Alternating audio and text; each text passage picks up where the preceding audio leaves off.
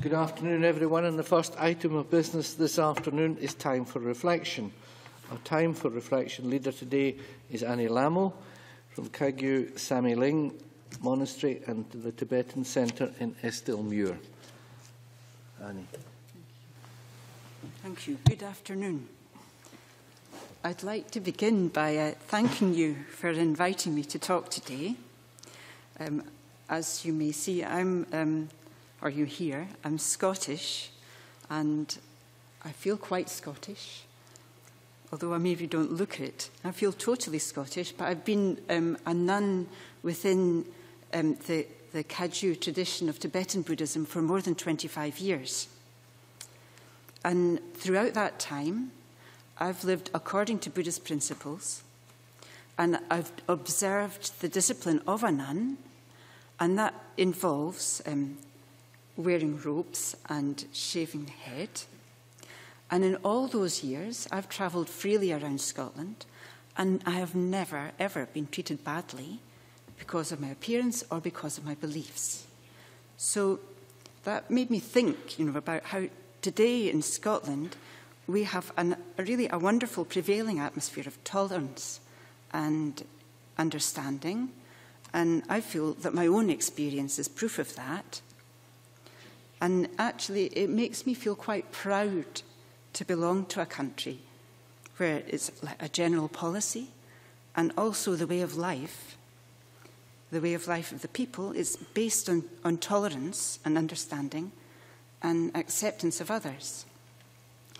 And from a, a Buddhist per perspective, actually, um, tolerance is ex extremely important.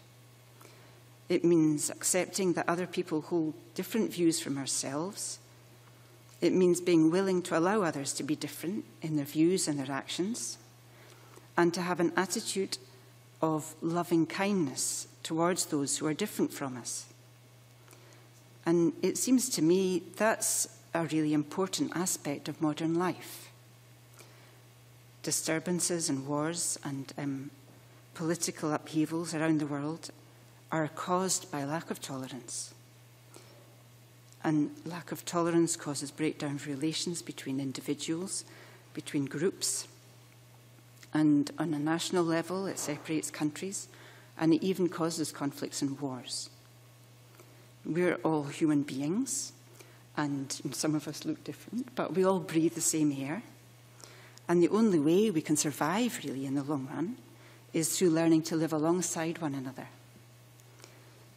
And I think if we want to achieve um, domestic harmony or good relations between ethnic and religious groups, peace between different countries and races, we have no choice but to learn to accept one another. So I really hope that Scotland will always maintain its adherence to the principles of tolerance and compassion. And also, as an example of how we can put that into practice, I'd like to end with some guidance that the Buddha gave about how to deal with difficult people or different difficult situations. So he says that um, when we meet these things, rather than reacting negatively, we should think if somebody foolishly does, does me wrong, then I will return to him the protection of my own boundless love. And actually, the more evil that comes from that person, the more good will go from me. Thank you.